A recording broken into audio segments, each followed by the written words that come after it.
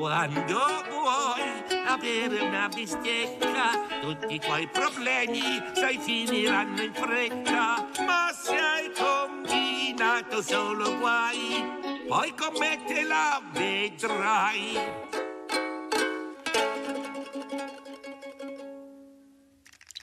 È stato carino.